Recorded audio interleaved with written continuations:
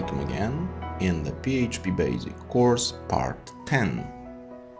Today we will finally do some work with user interaction between the server side and the client side using the PHP and HTML browser. Okay, as you remember with the lesson with HTTP fundamentals, the whole interaction of web application is based on the request and the response between the client side, which is the HTML browser, and the server side, which is the web server. In our case, it's Apache with the PHP module, and the server is doing some stuff and sending back to the client uh, with the response which is actually the HTML site displayed on the uh, client browser. It's a front end. Yes, this is our view. This is our uh, user interface. This is the way how we interact with the server. Until now, all our lessons with objects, uh, simple arrays and playing with values and functions does not do any interaction between the human on the client side and the server side. All the things we have um, assigned values and changing stuff in the server side. We do this, all the scripting on the server side so the user has no interaction between server and the browser. All the stuff was done on the server and we use the browser only to see the result of the response. So if you take uh, our last uh, lesson about the passing parameters to the object and use the Firebug to change to check the uh,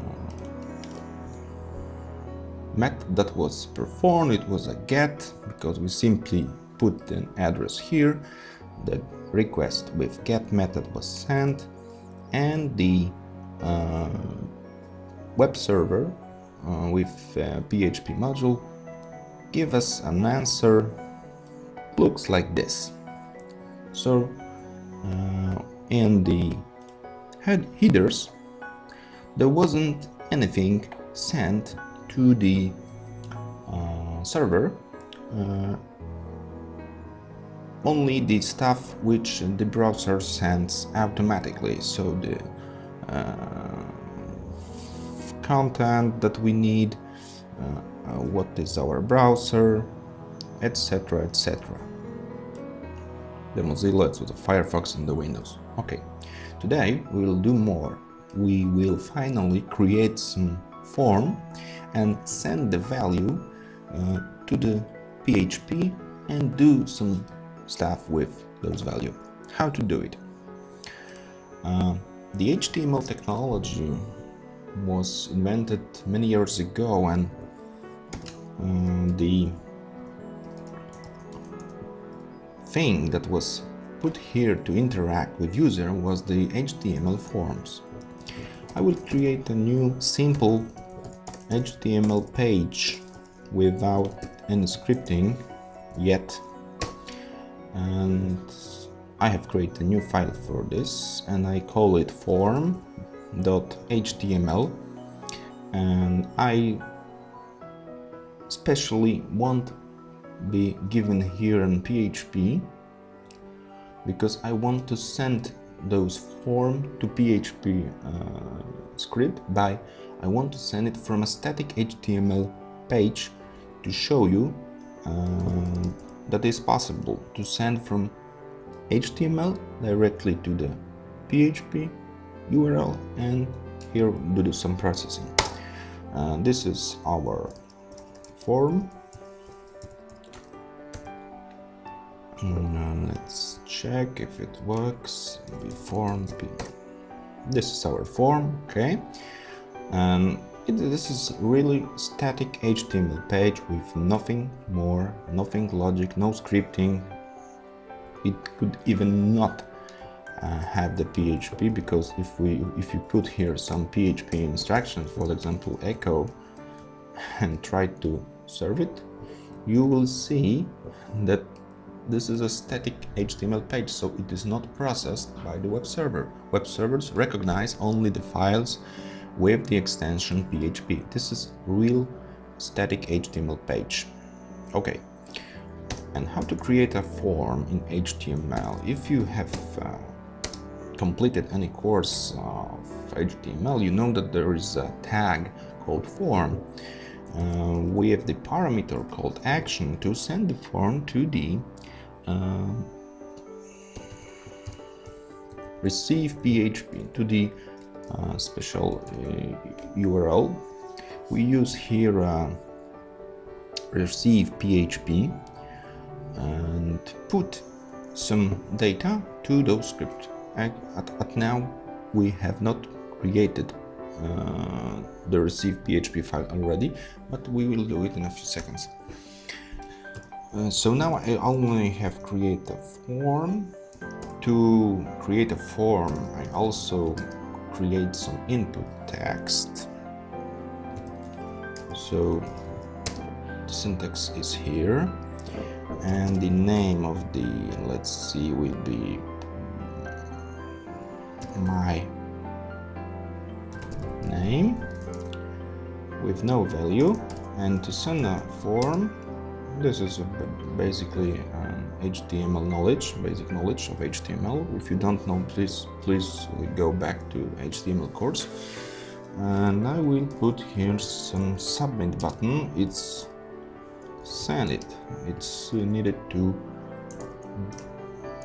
do the work. And okay, what do we have now? Okay, we got nice input text so we can do put some data here. And nice button called send it if I press those button I get the 404 not found because I was trying to send the request to the URI or URL called receive PHP which is actually not exist, it's true. But let's take a look at the request. There was a parameter in this request called my name and I wrote them some random characters. I will go back and type here John and send it again and what happened in this parameter sorry in this parameter we get the value John sent. So all the interaction between client side and server side is done by the parameters sent with the method get or method post. We will discuss it later.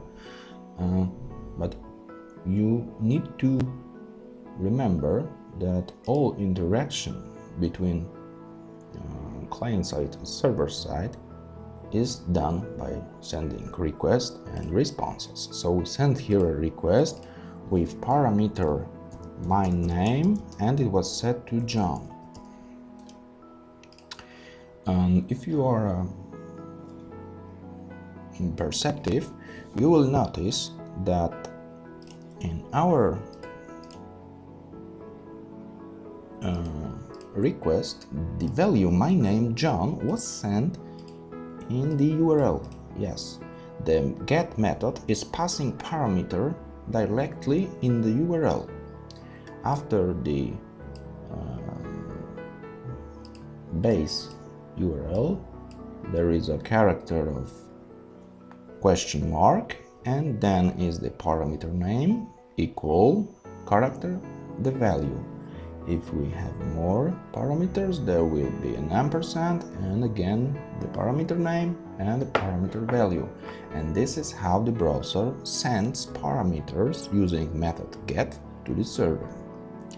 Okay, so now we have to create the file that will receive those values. Let's do it quickly. Create new file. And this will be receive.php5 and how to get the parameters from a request in PHP.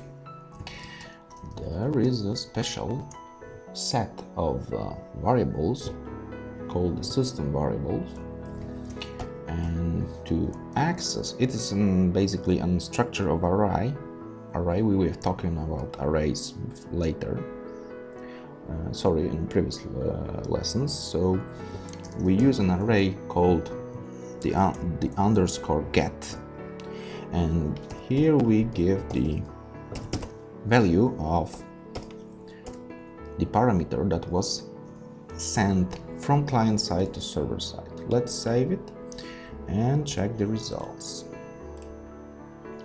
let's go back to the form static form form html here is our value john and i will send it what happened hmm nice we get the response with the word John. And this is a response from PHP uh, to those requests. Those requests were sent and the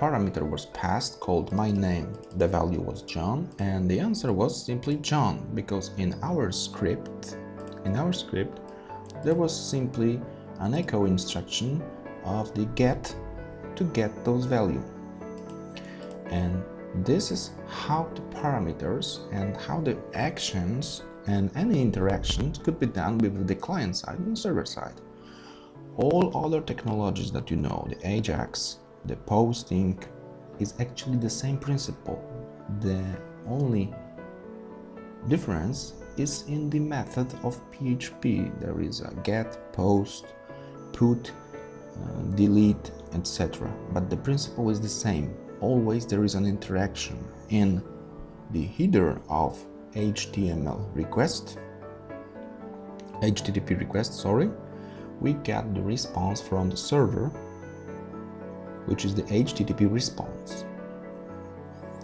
Okay, I think it's quite enough for this lesson and in the next lesson we will discuss in, in a more detailed version. Thanks for watching.